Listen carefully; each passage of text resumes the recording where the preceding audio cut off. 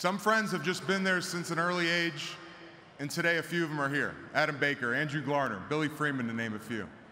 Thank you for being true friends from the start.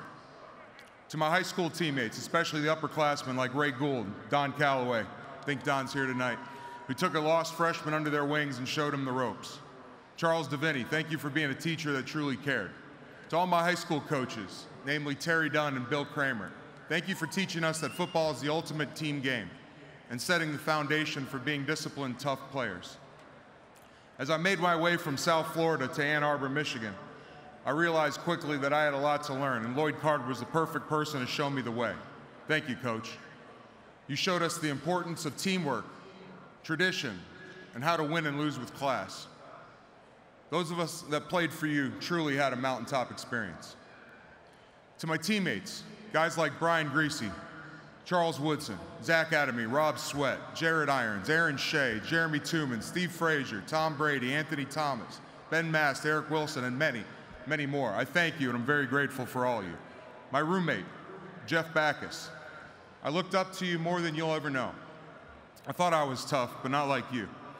You were more of a uh, leader than you realize. To Scotty and the passing family, thank you for being wonderful people. The late Jim and Bonnie Mandich, as well as the rest of the Mandich family. You always treated me like family, and we miss you too dearly. My position coaches, Terry Malone, Greg Mattison, Mike DeBord, Brady Hoke. Technique was the foundation of my game, and ultimately why I'm standing here today. Mike Gittleson, thank you. Thank you for all being such great teachers. To the late Paul Allen, the Wilf and Adams families, thank you for letting me represent your organizations. I had the privilege of playing for, for first-class teams, and great ownership is the foundation for that. I thank Mike Holmgren for giving me an opportunity by drafting me. I know I didn't leave there with us being on the best of terms, but over the years we've gotten reconnected, and for that I'm glad. To my teammates, especially my veteran offensive line mates, Robbie, Chris Gray, Matt Burke, and Walter Jones, thank you for your leadership. Robbie, you set a great example of how to be a true pro as well as a great father.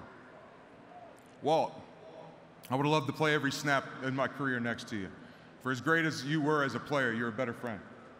Matt Hasselbeck, Mack Strong, Grant Wistrom, Shaun Alexander, Lofa Tatupu, Adrian Peterson, Sean Locklear, Brett Favre, Kevin Williams, Ben Leber, Pat Williams, Heath Farwell, Phil Loadholt, John Sullivan, just a few of the wonderful teammates I was blessed to play with.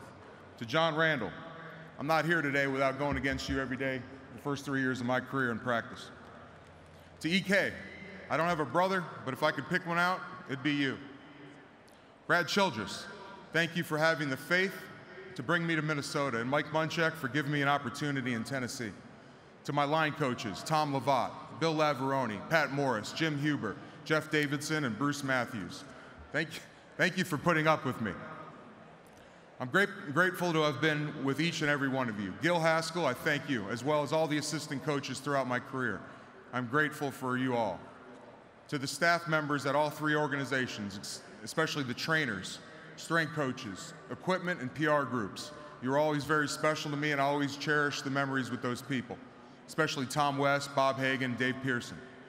To Tom Condon, RJ Gonzer, John Palguda, and the countless other people at CAA and MAI, thank you. Thank you, Mike Sando, for presenting me to the Hall of Fame voters.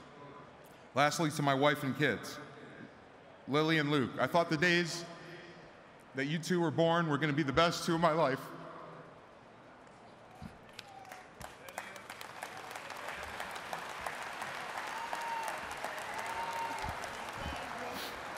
That was just the start. Lily, when I look at you, I see so much of myself.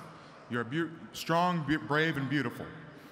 That little girl who stole my heart has grown into a young woman who I'm extremely proud of. Always maintain that passion, that fire, and that great personality no matter what path you choose. Luke, watching you grow up is like rewinding my life. It's crazy to see the amount of similarities we share at that age. I always wished I could go back in time and tell myself something to help myself in the future. If I could go back now, I'd tell myself not to fear failure, but to fear not having given it your all. You're everything I asked, could have asked for in a son, and watching you grow up warms my heart.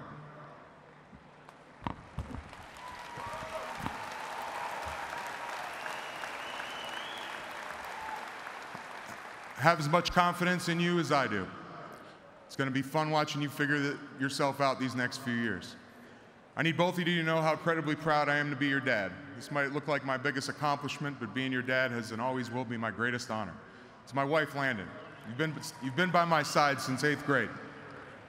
They say that football is the ultimate team sport, and since the two of us have always made a great team, I was able to completely focus on my career and ultimately stand up here today. You always found a way to lift my spirits after a bad game, bring me countless bags of ice after numerous sur surgeries, raise two great kids, and somehow find a way to have dinner made, errands run, and handle the bills, all while having that unmistakable smile on your face. I could talk for days about how much you mean to me, but you already know that. I'm incredibly proud to be your husband. I love you.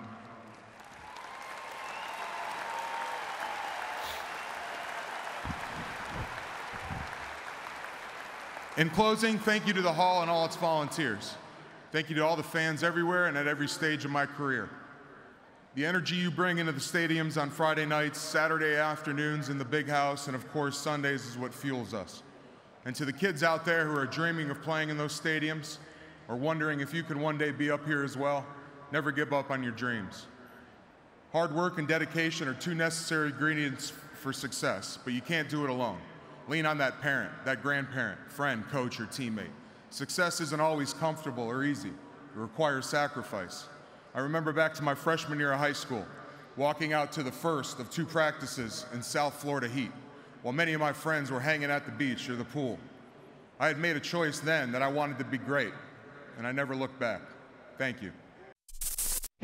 Thanks for watching ESPN on YouTube. For live streaming sports and premium content, subscribe to ESPN Plus.